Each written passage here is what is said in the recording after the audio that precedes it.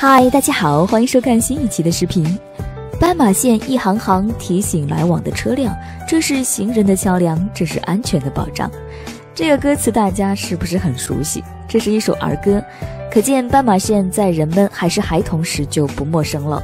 这些年也几乎成为国际通用交通符号。可是前不久就有一位教授对人行横道概念的斑马线提出了质疑，说从驾驶员的角度，斑马线变成了一个向前箭头，暗示着加速，实际会带来安全隐患。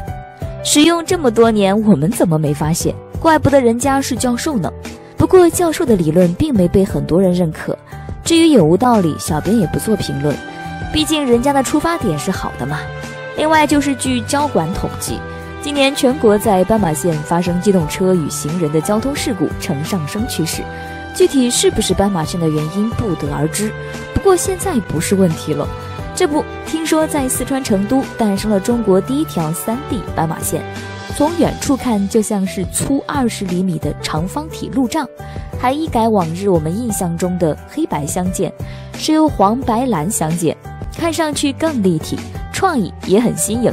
最主要的是，这个别样的斑马线收到了难以想象的预期效果，据说连老司机在很远的地方都慢了下来，这不是我们想要的结果吗？估计这样的斑马线，连教授都服了。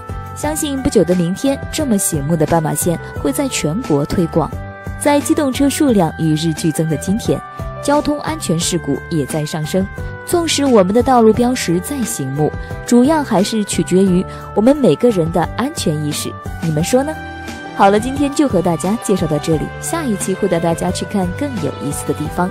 欢迎大家点赞评论，喜欢我就请点击视频右下角的关注哦。